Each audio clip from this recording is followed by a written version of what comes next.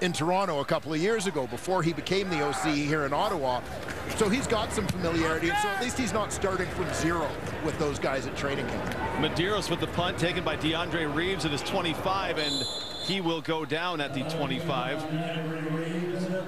Jean-Philippe Bolduc with the tackle there. So if you're having success because you're doing the right things, then that's good. If you're having success doing the wrong things, that's probably you just got lucky and not something that can be sustained. DeAndre Reeves just across the 30. Much like it is for a player when, say, in your rookie year you've missed training camp, but in year two you get to training camp.